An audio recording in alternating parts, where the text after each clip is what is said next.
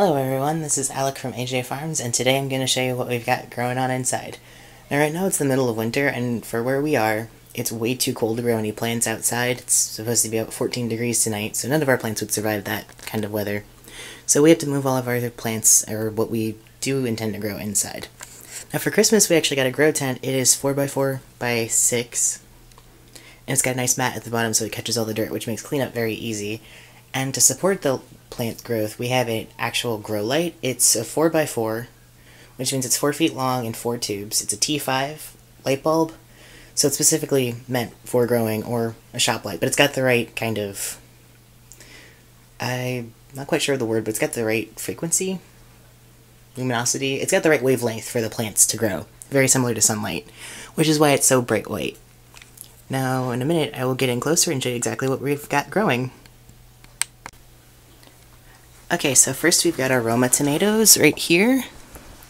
These were planted on, you can barely see that, but they were planted on Christmas. The Roma tomatoes, we've got about five of them in there, and they all sprouted. And as they get bigger, we plan on separating them into different containers so that they can get bigger and actually hopefully produce tomatoes. Doing a little bit of an experiment to see if we can get them to go from seed to fruit inside. Over here we have our carrots. These were started, oops, door's in the way. These were started about almost 70 days ago, so they're almost at full maturity. We have picked two, though they're very tiny. They are a little overcrowded in there because I didn't really thin them out. And if you look very closely, you may or may not, may or may not be able to see it. There is a little carrot poking through there, so that should be ready soon. I'm going to try to let that one stay in as long as possible so it gets as big as possible.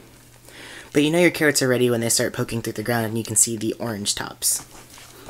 But once we've moved them into the grow tent, the foliage has been doing really, really well. The old foliage, an example you can see down here, if I can get close enough, if it'll focus, is very spaced out and leggy, but once we got it into the grow tent with a better light, this one's much stronger than we had in the old grow box. The leaves were more compact and less spaced out, which is a sign that the carrots are doing much better in this one. And as I said, they were planted almost 70 days ago, so they're almost at full maturity. These, I believe, are Danvers half-longs, which are pretty nice to grow. It does take them a little while to germinate, though. Over here we have our sweet basil. That's... I'm not actually sure how long that's been in, but I have pruned it... I've pruned this particular plant right here twice.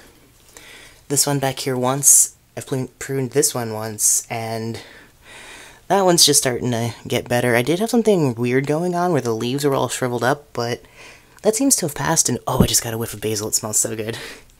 But that seems to have passed, and they're doing much better. I do plan on fertilizing these a little bit, just to boost leaf production.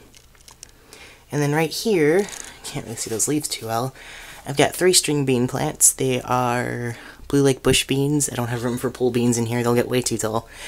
But I have a few plants just because it was a small container. I did want to get something going because I really love these string beans. They're so good. Then over here, I've got Cherry Belle radish. They are almost two weeks old, though the biggest one right here is a little bit older, though it's flopped over. I had it in a different area with a not great light, and that didn't go very well, as you can see. But the plants are doing much better now with this grow light. They are actually growing up, they're not as leggy, and they're just doing much better. And then these over here are my onions. I don't actually plan for these to bunch up, or uh, bulb up, I mean. I was just really growing them for the grass. We've been using it like green onions, and I've pruned it a few times. They've grown back and grown more. Though some of them are starting to bulb at the bottom, so if it does warm up enough and I can put them outside and I still have some left, might actually transplant them outside and see if I can get any actual onion bulbs out of them. So that is what we have going on in our grow tent right now. Later in a few weeks or so, actually not very long now, we'll start our pepper seeds for 2018 because those take, you can start those anywhere between 8 to 10 weeks in, indoors. We'll also be starting our eggplants though, maybe a little bit later because they, they grow really fast. But yes, this is what we have going on now, and in a few weeks you'll be seeing what we will be starting for 2018. Thanks for watching.